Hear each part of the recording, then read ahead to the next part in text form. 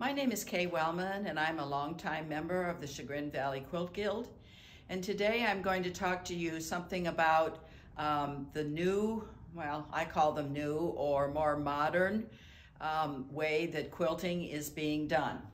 This is one example. This designer is Sue Spargo. And this particular project was done in a method called um, a block of the month club.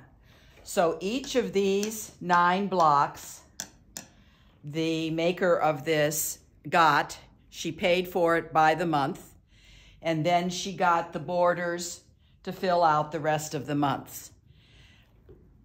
Not always do people frame their quilts as this one was done, and it this particular method is done on what's called felted wool, which is wool that has been put in very hot water and then dried with hot heat um, to shrink it and make it so that you can cut it along the edge and it won't fray.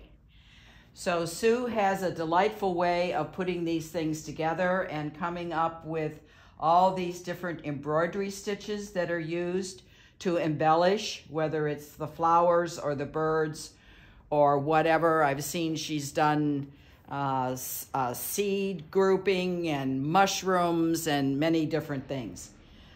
so this is one modern way of um, uh, this particular method of quilting. It can be made into an actual quilt with batting and probably a cotton uh, fabric batting because uh, backing, excuse me, because uh, if you use the felted wool, it would be really heavy. So the other thing that has happened is that the traditional blocks from the older quilts, be it this uh, triple Irish chain or this particular one, have been used in a design in a different way. As you can see, these blocks don't just look, they don't look like they march along in a row as these do.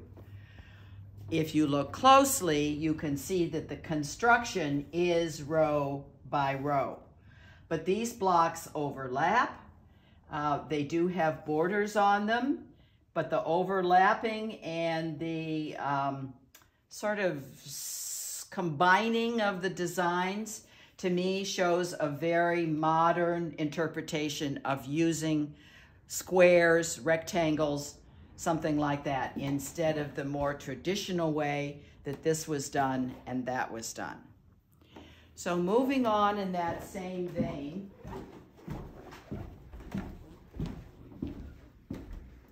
the maker of this quilt and the other one was Bonnie Gutman, who is a member of the Quilt Guild also. Her granddaughter apparently particularly likes purple. So she found this pattern and picked very modern fabrics. And instead of using triangles in the traditional way as the snowball shows or as this one shows with the fly with the um, half square triangles, these triangles are used in a very modern way, edged with white and um, it gives it to me a, a kind of a fresh, springy feeling to it. So that's just to show how the evolution of quilt design has changed over many years.